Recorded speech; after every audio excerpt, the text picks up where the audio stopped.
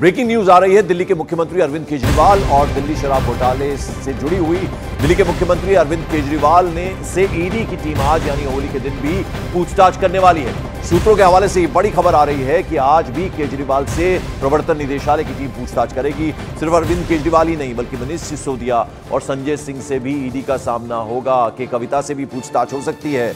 आपको बता दें कि अरविंद केजरीवाल 28 मार्च तक प्रवर्तन निदेशालय की कस्टडी में हैं। उन्हें शराब घोटाले के आरोप में ईडी ने गिरफ़्तार किया था। इसके बाद दिल्ली की राउज एवेन्यू कोर्ट ने उन्हें छह दिन की ईडी रिमांड में भेज दिया था। तो आज भी होली के दिन भी पूछताछ की जाएगी अरविंद केजरीवाल से।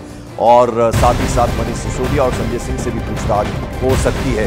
दिल्ली शराब घोटाले से जुड़ी एक और बड़ी खबर आपको बता दें अब प्रवर्तन निदेशालय ने पूछताछ में केजरीवाल से उनके पुराने फ़ोन के बारे में जब इंफॉर्मेशन मांगी, सूत्रों के हवाले से खबर है कि अरविंद केजरीवाल का एक फ़ोन गायब बताया जा रहा है। ये वही फ़ोन है जो घोटाले के वक्त अरविंद केजरीवाल के पास था। अब गायब है। ईडी ने जब केजरीवाल से इस फ़ोन के बारे में सवाल किया तो उन्होंने ये कह दिया कि पता नहीं फ़ोन कहाँ गया। ये जवाब दिया। इससे पहले मनीष सिसोदिया और के कविता के भी फ़ोन गायब होने की खबर मिली थी। मनीष सिसोदिया से प्रवर्तन निदेशालय ने पूछताछ शुरू की थी तो जाँच एजेंसी ईडी ने सिसोदिया से उनके फ़ोन मांगे थे, लेकिन उस वक्त ईडी को मनीष सिसोदिया के कुछ फ़ोन में सिम किसी और की मिली, जबकि कुछ फ़ोन मिले ही नहीं। मतलब वो फ़ोन गायब और कुछ फ़ोन फॉर्मेट हो चुके थे।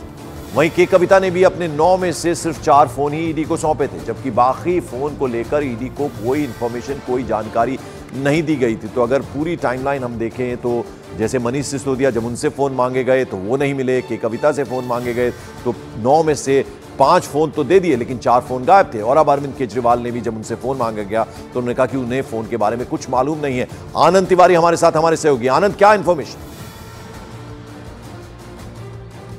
देखिए, पंकज शराब घोटाले से जुड़े 36 ऐसे किरदार हैं जिनके फ़ोन का डेटा जो है, या तो वो फॉर्मेट या फिर डिलीट जो है, वो ईडी को मिला है। रही बात दिल्ली के तत्कालीन उप मुख्यमंत्री मनीष सिसोदिया की, जब उनसे भी ईडी ने पूछताछ करी थी तो उस दौरान भी उनके कुछ फ़ोन जो है, वो फॉर्मेट थे। कुछ फ़ोन जो ईडी ने बरामद किए, उसमें जो सिम थी, वो किसी दूसरे के नाम से जो है, वो रजिस्टर्ड सिम जो है, वो इस्तेमाल हो रही थी, और कुछ फ़ोन जो है, वो मनीष सिसोदिया के गायब थे। यही कुछ ऐसा ही कुछ रवैया जो है के कविता का रहा है। के कविता से जब तीन बार ईडी ने पूछताछ करी थी उनकी गिरफ्तारी से पहले तो उनके पास नौ मोबाइल फ़ोन थे, जिसमें से वो केवल एजेंसी के चार मोबाइल फ़ोन ही सुपुर्द कर पाई थी। और उसमें से भी पंकज, एक मोबाइल फ़ोन ऐसा था जिसका फेस टाइम और व्हाट्सअप का जो डेटा था, वो पूरी तरह से फॉर्मेट कर दिया गया था। और ईडी ने जब मार्च के महीने में के कविता को सम्मन दिया था तो उस दौरान उसी दौरान जो मोबाइल फ़ोन था उसे फॉर्मेट किया गया था उसी संबंध की तारीख के दिन। जाँच में तमाम चीज़ें निकल के सामने आई थी और अब कुछ इसी तरह का जो है अरविंद केजरीवाल से जब पूछताछ शुरू हुई तो उन्होंने भी कहा कि जब शराब घोटाले के वक्त यह शराब नीति बन रही थी। उस दौरान जो मोबाइल फ़ोन वो इस्तेमाल करते उसके बारे में उन्हें नहीं पता वो फ़ोन मिसिंग है।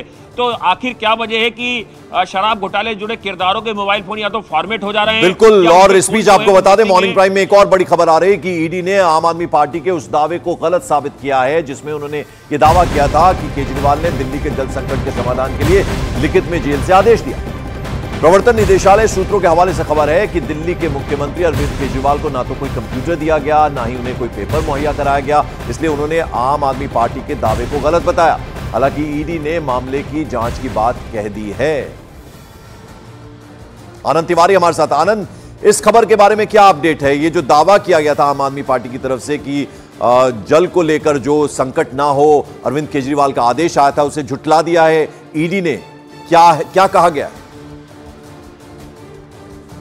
देखिए पंकज कानून ने एक जो है वो छूट दी हुई है और कानून ने एक तरीका दिया हुआ है कि आ, जब अरविंद केजरीवाल कस्टडी में होंगे तो उनके वकील और उनकी पत्नी जो है वो वक्त वक्त पर उनसे मिलने रोज़ाना आ सकते हैं। लेकिन आम आदमी पार्टी ने दावा किया था कि कुछ लिखित जो है वो आदेश जो है अरविंद केजरीवाल ने अपनी पत्नी को दिया था जल संकट से जुड़ा हुआ। जिसको ईडी सूत्रों ने सिरे से खारिज कर दिया। उनका कहना है कि अरविंद केजरीवाल को ना ही कोई पेन कागज़ ना ही कोई कंप्यूटर दिया गया था और ये सारी चीज़ें जो है सरासर गलत है क्योंकि वीडियो वीडियो के वीडियो कॉन्फ्रेंस वीडियो रिकॉर्डिंग के ज़रिए जो है वो अरविंद केजरीवाल से पूछताछ जो है वो ईडी की होती है और बाकायदा उसकी वीडियोग्राफी कराई जाती है जब अरविंद केजरीवाल से पूछताछ होती है। बिल्कुल। और रही बात उनकी पत्नी से पत्नी की तो उनकी पत्नी ज़रूर आई थी मिलने अरविंद केजरीवाल से लेकिन इस तरह का कोई लिखित पैन कागज़ का आदेश जो है वो अरविंद केजरीवाल ने ईडी कस्टडी में ना तो लिखा है ना ही दिया है।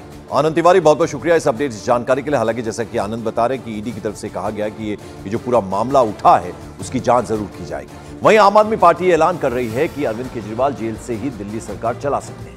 इस दावे ने उस वक्त तूल पकड़ लिया जब दिल्ली सरकार में मंत्री आतिशी ने एक चिट्ठी से दावा कर दिया कि सीएम अरविंद केजरीवाल ने जेल से दिल्ली में पानी सप्लाई को लेकर एक सीधा आदेश उन्हें दिया है। इस दावे के बाद से दिल्ली की सियासत में कोहराम मचना शुरू हो गया है।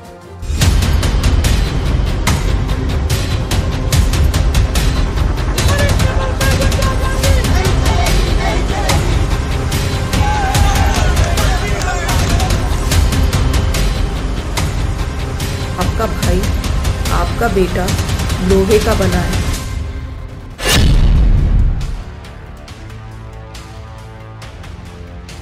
सौ करोड़ के शराब घोटाले ने दिल्ली सरकार को उस दौर में पहुँचा दिया है, जहाँ अब केजरीवाल ईडी की कस्टडी में जेल से सरकार चलाने को मजबूर हो गए हैं। आप इन तीन तस्वीरों से समझिए, इस वक्त दिल्ली में चल क्या रहा है। पहली तस्वीर में दिल्ली सरकार में मंत्री आदर्शी दावा कर रही हैं कि सीएम केजरीवाल ने दिल्ली में होली के मौके पर पानी की सप्लाई सही तरह से बनी रही से लेकर केजरीवाल ने जेल से पहला आदेश उन्हें दिया है। दूसरी तस्वीर मुख्यमंत्री अरविंद केजरीवाल की है, जो इस वक्त ईडी की रिमांड पर हैं और उनसे लगातार पूछताछ हो रही है। 28 मार्च तक केजरीवाल ईडी की रिमांड पर रहेंगे, जबकि तीसरी तस्वीर में बीजेपी के नेता जेल से सरकार चलाने का दावा करने वाले आप नेताओं पर भड़क रहे हैं और इसे दिल्ली सरकार की ड्रामेबाजी बता रहे हैं। और वैसे क्या जेल से सरकार चलाना वाकई मुमकिन है और क्या जेल से सरकार चलाना आसान है? ऐसे कई सवाल हैं जो अरविंद केजरीवाल की गिरफ्तारी के बाद से लोगों के दिमाग में, उनके जहन में है। जेल के नियम क्या है? और क्या यह पहला ऑर्डर जिसका दावा आप कर रही है, जिसे ईडी गलत करार दे चुकी है, उन्हीं नियमों के तहत था? इस रिपोर्ट में देखिए।